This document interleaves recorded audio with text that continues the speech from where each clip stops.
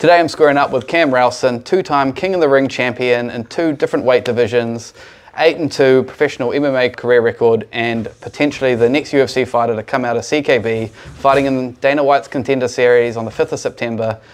How are we going, Cam? I'm good. I'm feeling good. A Couple Feel- weeks out. How are you feeling? Yeah. Feeling pretty fresh. Yeah. the body's feeling good. Everything's firing.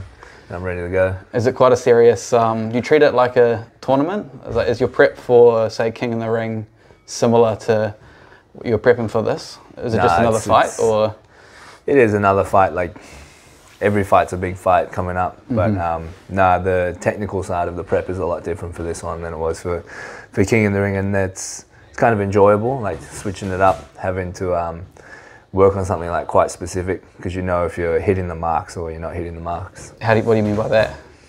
there's set plays that we that like the the coaches will get me to do like on the pads and stuff and I know if I'm doing them right or if I'm doing them wrong especially in sparring and stuff. And then um, for King in the Ring you know it's you couldn't fight any of the seven guys so you just don't want to say you do like a general prep preparation but you do a very like broad preparation for the for the fight. Yeah, for prepping for the Contender Series, for the big fighters in the UFC, there's a fair bit of footage that they can watch to prep for the fighter and see what they're like.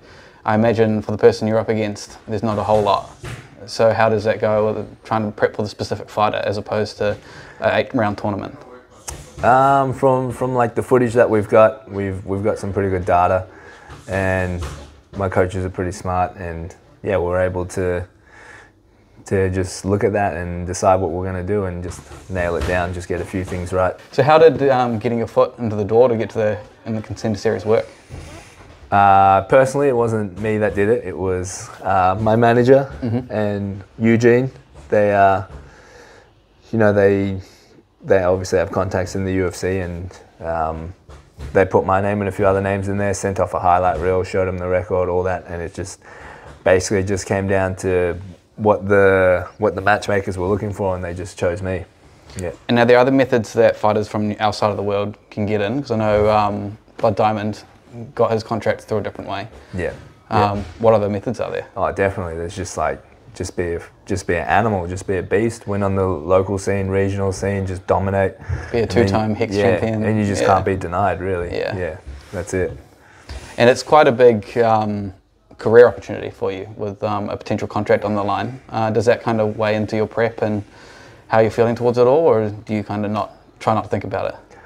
No, I definitely take that into account for my prep. It's um, yeah, I just kind of put everything on hold in my life and and just work for this because it's just something that I've been working on for so long.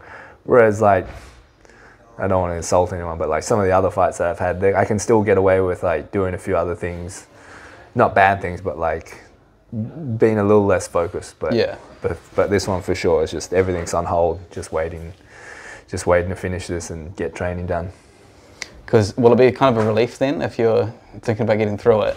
Is Oh, it- 100%. Yeah. 100%. Are the stress levels quite high? Just like, They are high, but keeping them controlled. Yeah. Yeah, was that quite a skill you felt like you had to develop? Yeah, definitely. Yeah. Definitely. I was like, fuck, I've never been this stressed for a fight before. It's like, okay, this is teaching me something. So, yeah. Did each time you have a fight kind of build up? Um, because I imagine as the better you do, the more important. Like when you're doing amateur fights and then you switch to professional and then you're in an eight-man tournament.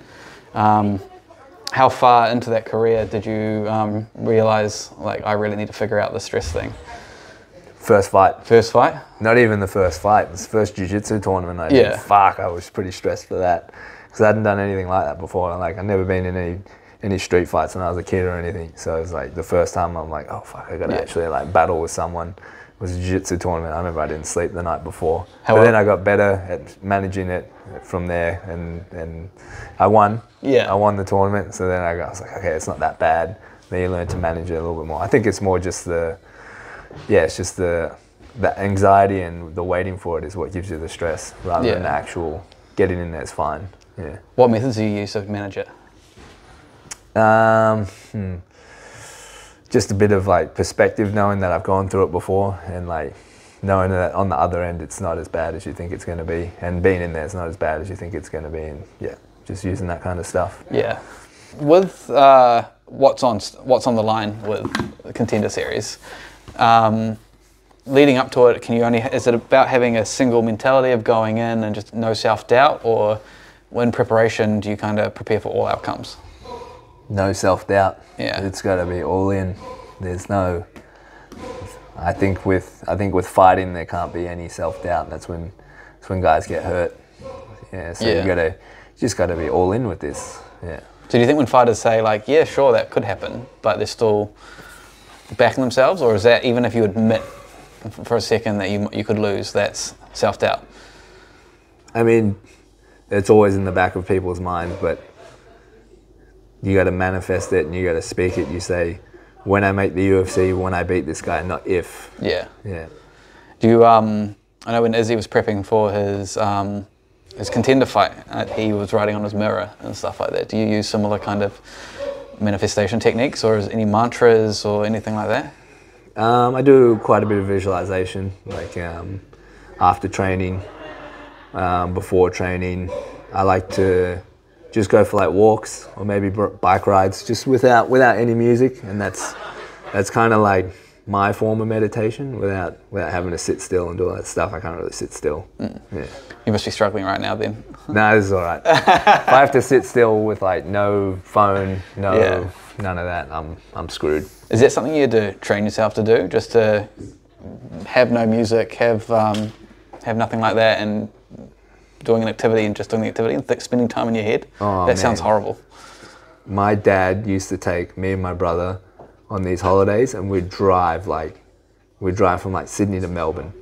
And there he would just have like his music on the radio. We just this was before we didn't have Game Boys. I couldn't read books in the car because I get car sick. Before iPhones before iPods and we'd just stare out the window.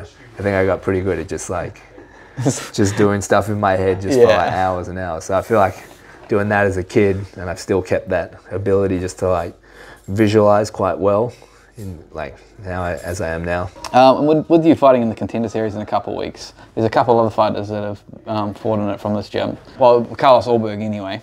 Um, does, have you asked for advice, or has he offered any advice on how to handle it, what to expect? Um, yeah, he's, he's he's given me a few pointers. He's just saying, I guess, just same thing any anyone would say before the fight. Just go or like before the whole build up because there is a bit of a build up and you got to talk and stuff to the camera. He's like, just be yourself. Go out there, fight, fight like you'd normally fight. He's like, just have fun, I guess.